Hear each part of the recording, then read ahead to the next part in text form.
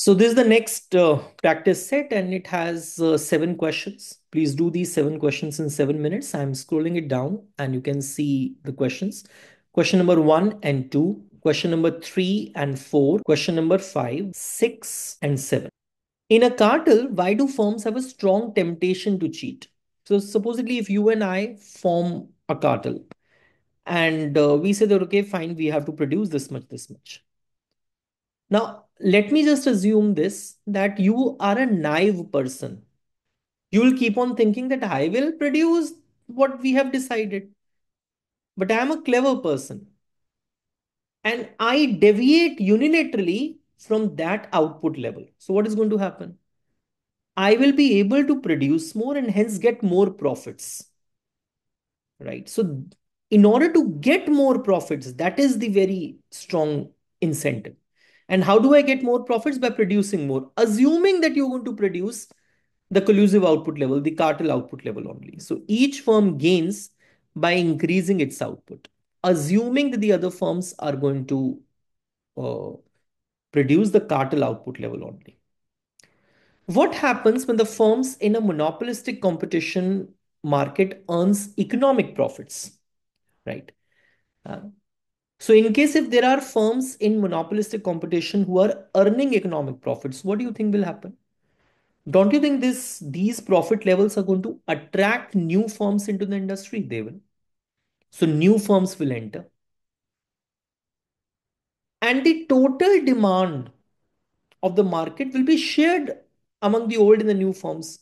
So what is going to happen is that the demand which was faced by the old firms that is going to fall.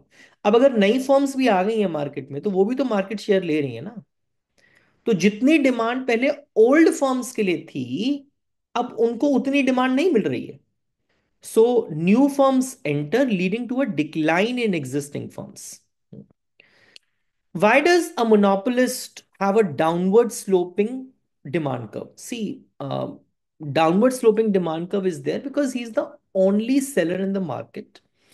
And his demand curve is actually the market demand curve right?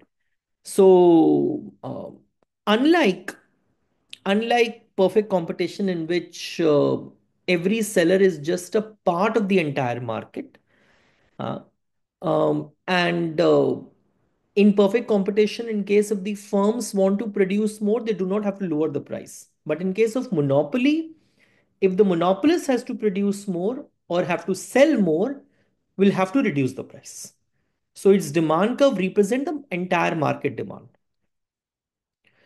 For an oligopoly strategy to be stable and self-sustaining, it means what? It means that it should be a Nash equilibrium. It should be self-enforcing. It should be a Nash equilibrium because no firm should have an incentive to deviate from that unilaterally. Then only it will be stable and self-sustaining, right? So in, in case if any firm unilaterally finds it is profitable to deviate, hmm, then he or she, I mean, that particular firm is going to deviate. So the, the strategy doesn't remain stable. The strategy doesn't remain self-sustaining. Uh, so Nash equilibrium is that there is no profitable deviation will exist, right?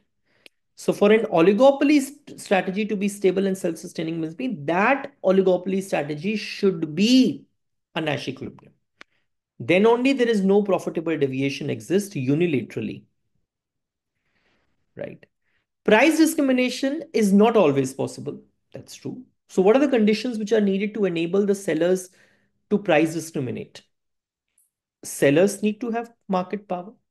That's true. They should have some market power. Um, it must be permitted by law. So sometimes what happens is that law doesn't allow you to price discriminate. So condition two is also required. Arbitrage must be impossible or at least costly. It should not happen that if I'm selling in the two markets and I'm selling uh, in one market lower than the other market, I mean, the price at which I'm selling in market one is lower than the price at which I'm selling in market two. So it should not happen that the customers in market one will start reselling to customers in market two. right? Reselling is not allowed. So arbitrage must be impossible or at least very costly. For effective price discrimination, the seller must know the relevant demand function, at least locally, yes. Right. So they should know what is the demand curve for uh, for uh, for the different markets, right? Uh, so all of them are true. All of them are true. That's there. Okay, if the short run marginal cost of producing a good is $20 for the first 200 units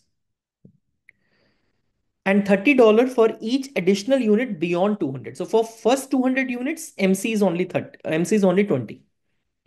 But the moment it crosses 200, let's say it crosses to 201, output crosses to 201, the marginal cost of the 201st output level is 30. So it increases. If the market price of the output is 29, a profit maximizing firm will do what? Beta. When for the first 200 units, MC is 20 and I can sell it at 29. That's good enough for me. But for anything beyond 200 units, MC becomes 30. I cannot increase the price. Price is set at 29. It's a it's a profit maximizing, perfectly competitive firm. So what do you think I should be doing?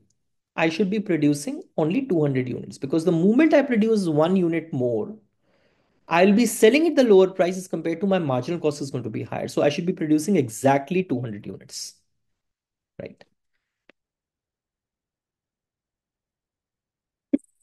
D is a truck driver. His revenue is $1.5 per mile driven. But the faster he drives, the greater the risk of a speeding challan.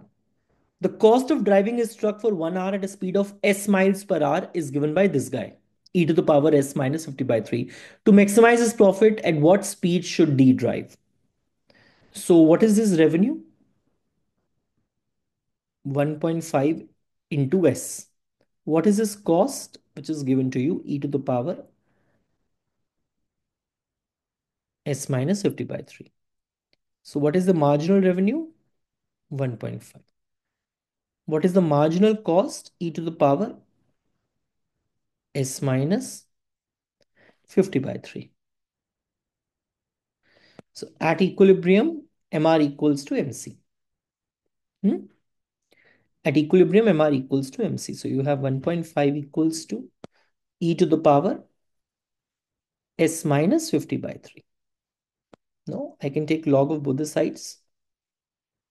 0.5 and log of e to the power k is just k. So it is s minus 50 by 3. So you can use this value. This is given to you log of 1.5 s minus 50 by 3. So s comes out to be 50.41. This is the correct answer. Right? This is the correct answer. Right, beta? Do let me know how much, how many you were able to get uh, right. Thank you.